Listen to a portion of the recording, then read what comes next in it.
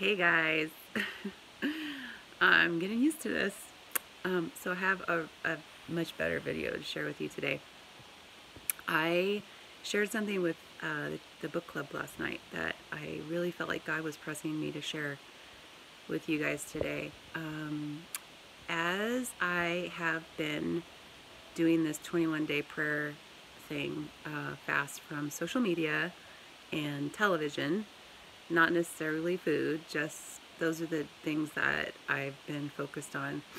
Um, God has also given me the desire to, um, you know, get back into some kind of training or exercising and stuff. And so I can't go to the gym right now. So I was able to download a uh, fitness app for 30 days, a trial.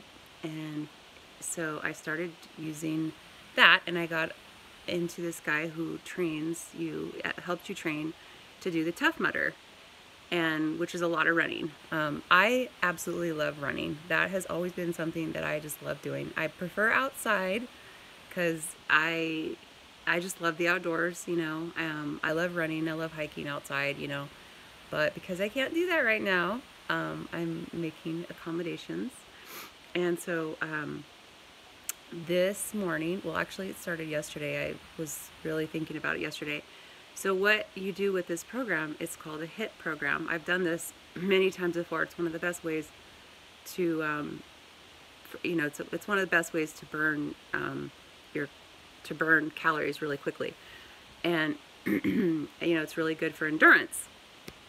So, HIT is a high intensity training. So, but all you basically you uh, walk a minute run a minute walk a minute run a minute. And the level is all based on your own you know in, endurance levels. So obviously i started out really slow um, since i haven't been doing much you know over the winter. And um, but as you continue to go you know your endurance level is increased so I've been really excited about my levels changing.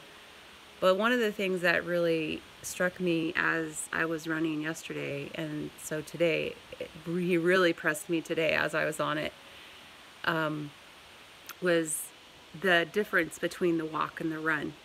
And really made me think about that scripture um, in Hebrews, Hebrews 12 1, where it says, Therefore, let, since we are surrounded by such a great cloud of witnesses, let us throw off everything that hinders us and the sin that so easily entangles us, and let us run with perseverance the race marked out for us. And so, as I'm running on my treadmill, my door is literally right in front of me, my front door. so I think that's kind of what really just made me think because I'm I'm I, I focus on the the light coming through the glass. And it just started making me realize like I'm I'm you know and I I'm oh I always pray when I'm running too. I'm just praying in the spirit and just you know just asking God for strength and for courage and wisdom and everything. But um, when you're running you you really do have to do that anyway because you need that strength you need that endurance. You need to keep going and you need to stay focused on something. And then then you go into the one minute walk and you recover and you kind of just like, oh, this is great. You know, so you can really just kind of soak in and just sing. I'm, I listen to worship music as I'm doing this. And so I just like really can really focus on the songs. And I really started thinking, this is our walk. This is our walk. This is our walk with God. You know, there are times like when we're being crushed, when we're being pressed, when we're going through these struggles, when we've got to really run and we've got to focus, and it's hard. You know, towards the end of that, you know, 30 minute um, treadmill run, walk, hit, hit, hit thing, it's it gets really hard at the end, and you're just like, you know, oh my gosh, just get me there. You know, but you have it's it's always at the very end, you know, that you're you're just getting to where you're breaking through and you're complete that it's the hardest.